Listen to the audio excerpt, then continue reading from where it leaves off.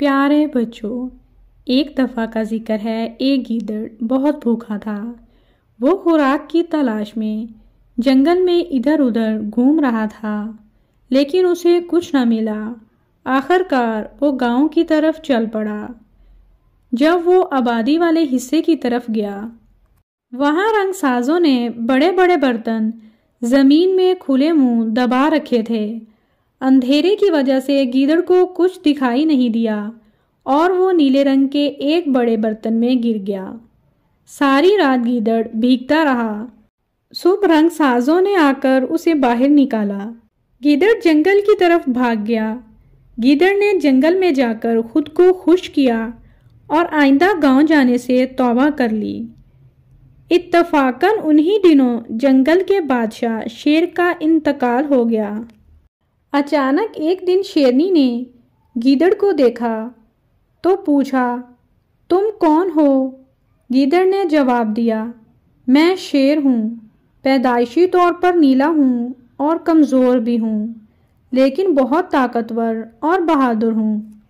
शेरनी को पहले तो यकीन न आया, मगर जब गीदड़ ने अपनी बहादुरी और दलेरी के किस्से सुनाए तो वो मान गई। यूँ शेरनी ने उसे जंगल में रहने की इजाज़त दे दी। वैसे भी वो अब जंगल में अकेली रह गई थी और दो बच्चों का साथ था।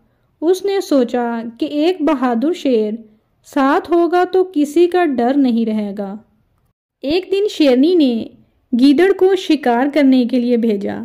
गीदड़ सारा दिन घूमता रहा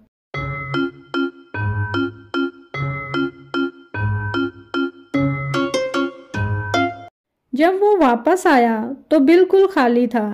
शेरनी को बहुत गुस्सा आया। उसे गीदड़ पर शक होने लगा कि ये शेर नहीं हो सकता। शेरनी ने गीदड़ की असलियत जानने के लिए एक तरकीब सोची।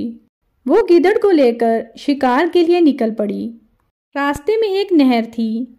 जब वो नहर में से गुजरने लगे तो गीदड़ का सारा रंग पानी में बह गया और शेरनी का शक यकीन में बदल गया। वो नहर से बाहर आए तो गिदड़ ने शेरनी से माफ़ी मांगी और उससे कहने लगा कि मुझे जंगल से बाहर ना निकालें। लेकिन शेरनी ने उसकी एक ना सुनी और उससे कहने लगी कि अगर वो दोबारा जंगल में नज़र आया तो वो उसे चीर फाड़ कर खा जाएगी और वो खुद आगे बढ़ गई। प्यारे बच्चों, इस कहानी से हमें ये सबक मिलता है कि हमें कभी भी झूठ नहीं बोलना चाहिए।